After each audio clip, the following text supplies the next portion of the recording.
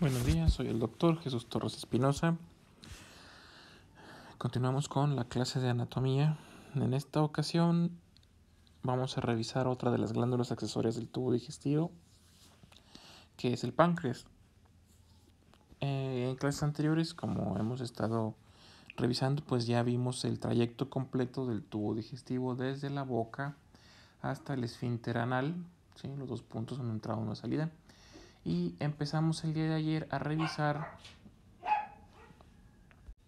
las glándulas salivales, el primer, este, el primer tipo o grupo de glándulas accesorias del tubo digestivo.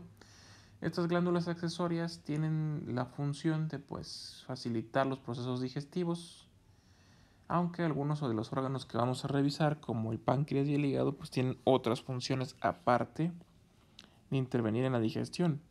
Sí, por ejemplo, el páncreas es uno de esos órganos que tiene más de una función y no solamente está en contacto con el tubo digestivo, sino que también está en contacto con la circulación general. El páncreas también va a pertenecer en parte a el aparato o el sistema endocrino. ¿sí?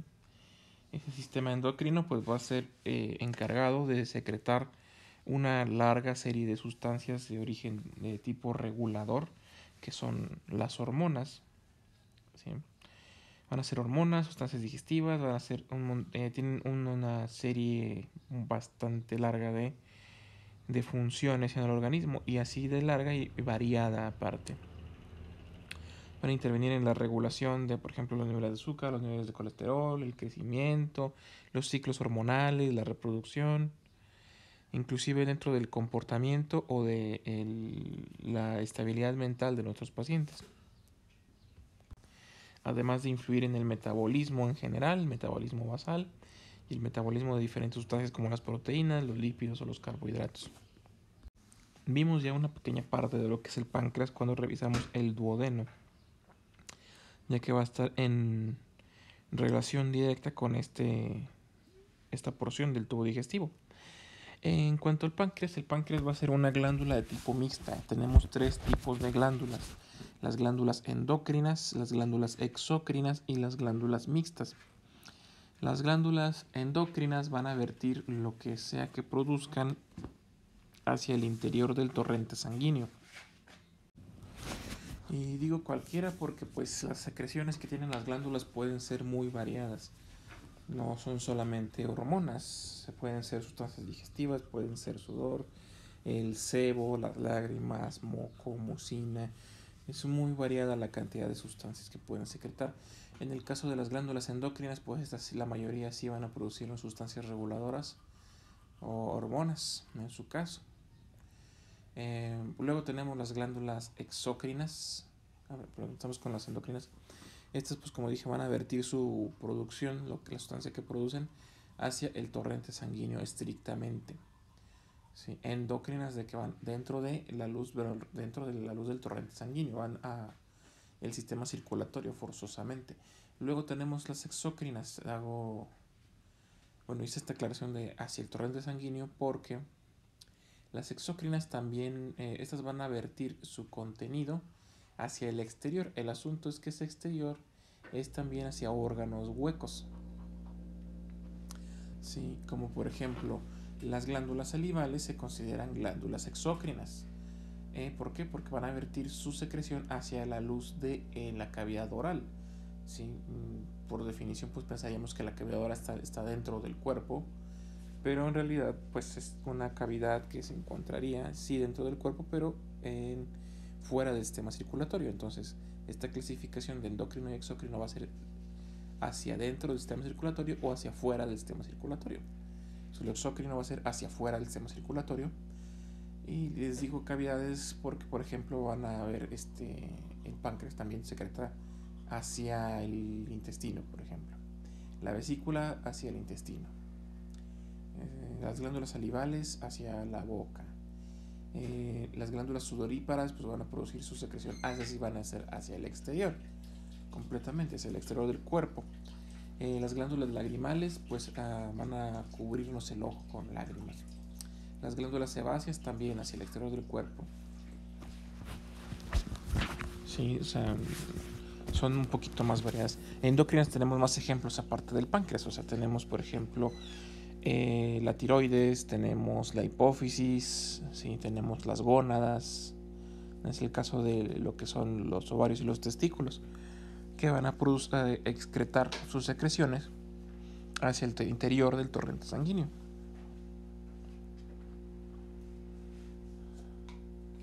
Sí, entonces el páncreas va a ser de secreción mixta porque va a mandar sustancias al torrente sanguíneo y va a mandar sustancias al interior del tubo digestivo. Entonces es endocrina y exocrina al mismo tiempo. ¿Sí? O sea, de secreción interna y externa. Hay otras clasificaciones de las glándulas, pero esas pues las veremos más adelante. Mm, aquí en esta imagen lo que observamos es su relación precisamente con el duodeno. Arriba la dilatación del tubo digestivo. Esto lo que vemos aquí es el estómago, sí, en azul.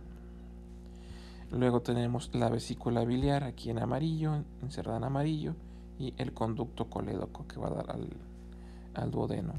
En rojo tenemos aquí al duodeno. Y luego tenemos el conducto pancreático principal.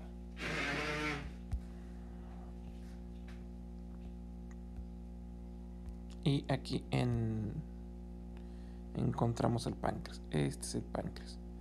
Su libro de anatomía lo describe como que tiene una forma de martillo, por así decirlo, con la cabeza más ancha o la parte más cercana al duodeno más ancha y la parte más alejada del duodeno pues más delgada, menos más estrecha.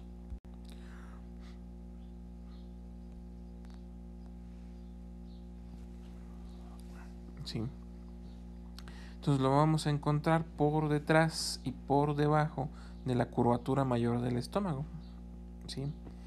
Y su principal función, o la función pues, más importante que tiene, aparte de intervenir en la, si pusiéramos en orden de importancia las funciones que lleva el páncreas, pues la más importante es la de la regulación del azúcar en la sangre. ¿sí? Porque el páncreas es el productor de dos sustancias que hacen esta regulación. Una es la insulina y otro es el glucagón. Ahora bien, pues anatómicamente así es como se ve un páncreas ya más, en, más concentrado más en su anatomía.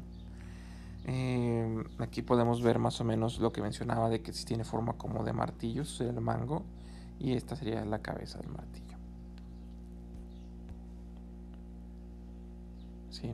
Ahora, este páncreas tiene en base a lo que acabo de mencionar tres porciones, una cabeza, un cuerpo y una cola una porción medial, por este, más cercana al eje medio, una porción más interna, una porción media, sería así una porción más interna, que es la cabeza, una porción media y una porción más externa o lateral. ¿sí? Y pues va a, va a compartir en cierta parte el conducto de salida de el eh, su conducto excretor con la bilis, con los conductos, el conducto colédoco. Y van a desembocar en el mismo lugar, en el duodeno, que es el esfínter de Odi. Aquí está escrito Odi, para que se acuerden. ¿Sí? Eso sería anatómicamente. Funcionalmente, pues tiene dos porciones, la porción endocrina y la porción exócrina. Esto lo vamos a ir viendo cuando veamos más su composición histológica. Las sustancias que va a secretar según su función o sus funcionalidades, primero en la eh, porción endocrina, tiene dos grupos de células que son los en los islotes alfa, eh, tiene células alfa y células beta, que van a estar acomodadas en estos islotes, los islotes de Langerhans, otro nombre propio. Esto es el del 1 al 2%, perdón, del 10 al 20% de la integridad del páncreas, ¿sí? Esto va a producir dos, eh, tres sustancias, principalmente dos ya las mencioné, que era la insulina y el glucagón. La insulina se va a encargar de regular los niveles de glucosa, haciendo que, a grosso modo, se absorba la glucosa de la sangre y pase al interior de las células. Y el glucagón lo que va a provocar es que se genere glucosa de las diferentes reservas del organismo.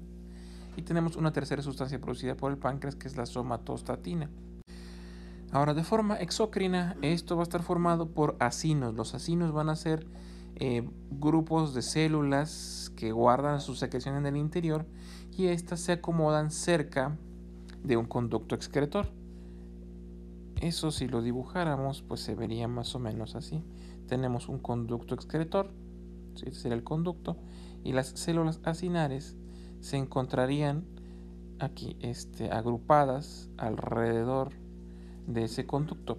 Los acinos básicamente es otra forma de llamar a racimos, porque se ven como si fueran racimos de uvas pegados todos en una sola rama. ¿Sí? Este pues va a representar hasta el 85% ¿sí?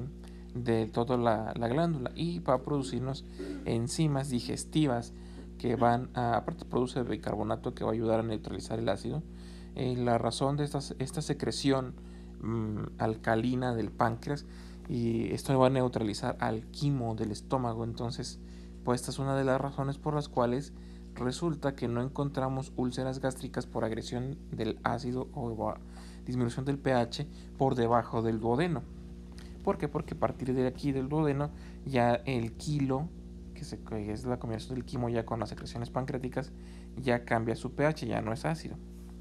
Entonces, sustancias que va a producirnos el páncreas, pues va a tener secretina, colecistocinina, tripsinógeno, quimiotripsinógeno, procarboxipeptidasa, proleatasa o proteasa y la fosfolipasa A y B. Estas sustancias las vamos a encontrar en las secreciones pancreáticas o los jugos pancreáticos. También este, tenemos la amilasa pancreática, que también interviene en el metabolismo de los almidones. En las funciones de cada una de todas estas sustancias que estamos mencionando, pues ya las revisarán en su clase de fisiología o si tienen alguna duda, pues la pueden poner en el grupo de WhatsApp. Ahora, como dije, pues sus funciones principales o las más podemos llamar más importantes eh, van a ser las de control de azúcar. Entonces, primero vamos a seguir este algoritmo en el cual tenemos aquí un nivel bajo de glucosa. Si seguimos la flecha, este nivel bajo de glucosa, pues a través de la sangre, pues le va a mandar las señales al páncreas. El páncreas va a producir el glucagón producido por las células alfa de los islotes. Este glucagón va a estimular al hígado, que almacena glucosa en forma de una sustancia que vamos a llamar o que se llama glucógeno. El glucógeno no es más que una forma más compleja de glucosa. ¿sí? Este glucógeno va a ser sometido a un proceso por el cual se va a convertir en glucosa. ¿Cómo se llama ese proceso? Se llama glucógeno genólisis. Sí, pues glucógeno, lo que acabamos de ver, que es un, una amalgama de glucosa, y el sufijo lisis, el sufijo lisis significa destrucción, entonces es la destrucción del glucógeno, y si destruimos glucógeno obtenemos glucosa. Así de, de sencillo, de simple es el proceso. Eso es lo que va a hacer el glucagón a nivel del hígado.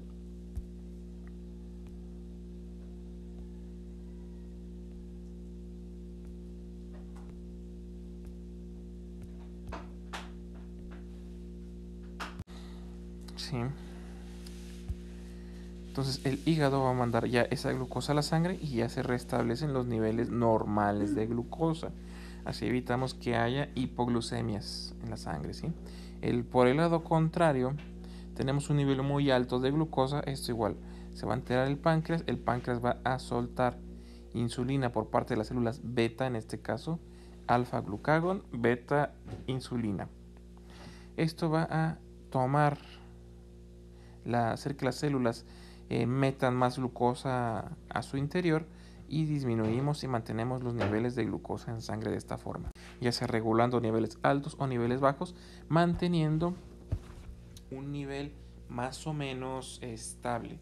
¿sí? Esto contribuye a la formación y mantenimiento de un proceso que vamos a llamar homeostasis. Se lo van a ver, insisto, en sus clases de fisiología. Más a fondo, al menos. Ahora, en cuanto a la anatomía, pues vamos a ver, su localización ya la vimos, por debajo y por detrás del estómago y se va a tener un contacto directo con el duodeno. También va a estar en relación, al menos la cola, con el vaso. ¿sí? Y con relación con el intestino grueso, ahorita vamos a ver eso más adelante. Primeramente, pues su longitud va a medir entre 12 a 15 centímetros de longitud de largo, de la cabeza a la cola, y 2.5 centímetros de ancho. No es tan, tan enorme, tan grande como lo imaginaríamos en los dibujos. ¿sí? Eh, aquí está, se va a encontrar por detrás y también por debajo de la curvatura mayor del estómago. Sí, ya dijimos esto que tiene una cabeza, un cuerpo y una cola, tiene tres porciones. Las porciones son importantes porque pues a veces resulta que el conducto se puede obstruir en las diferentes porciones y según la porción en la que se obstruye pues va a ser la dificultad para eh, quitar esa obstrucción. Además, algo que ya habíamos dicho pues va a estar conectado con el duodeno. Esta conexión con el duodeno pues se va a realizar a través de dos conductos, uno principal y uno accesorio que ya habíamos visto. Uno pues va a desembocar en la papila mayor y otro en la papila menor. En la papila mayor encontramos el esfínter de Oddi, en la papila menor ahí va a desembocar el otro. Uno, el conducto principal o conducto pancreático, va a desembocar en el conto, en el, en, a través, va a ser el conducto de Wirsung. Es el principal, el que cruza el páncreas por toda su longitud, de la cola a la cabeza. Y el otro va a ser el conducto de Santorini, que es una especie de conducto accesorio que tiene su desembocadura aparte del esfínter de Oddi. ¿Sí? Esto pues, es importante porque por ese conducto de Santorini solo salen secreciones pancreáticas, mientras que por el de Wilson, el de Wilson se va a unir al colédoco y va a secretar secreciones pancreáticas junto con,